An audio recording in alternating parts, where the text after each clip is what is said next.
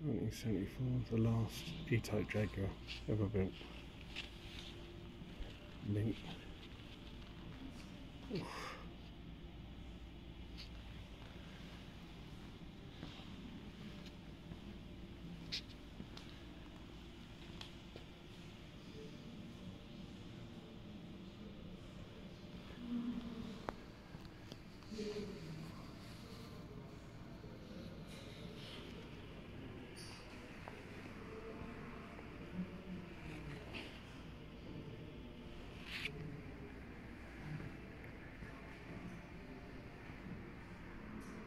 Jaguar Heritage Collection here at the British Motor Museum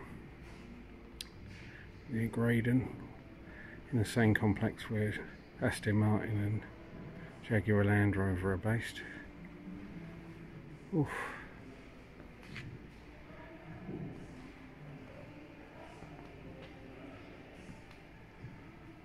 Do love a Jag.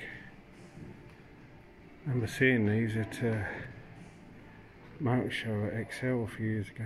Well, a few years ago, 10 years plus. That's the uh, James Bond Jag from that terrible film with Pierce Brosnan.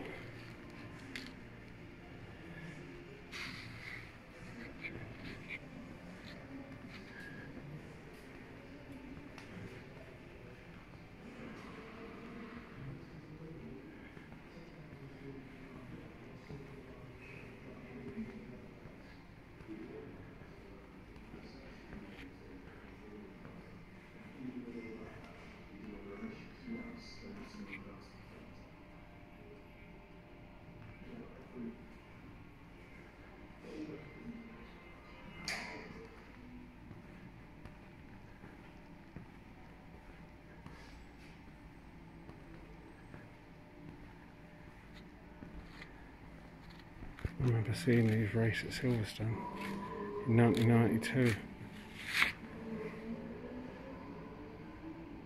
Absolutely gorgeous.